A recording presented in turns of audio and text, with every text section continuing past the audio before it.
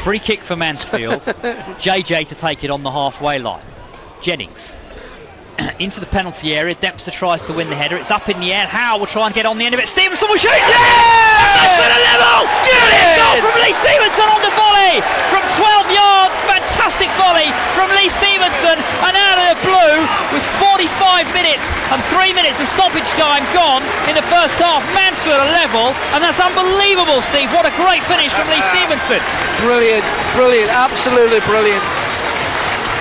Wasn't going to miss that, was he? And that goal drought in the league's now ended, Martin, thankfully.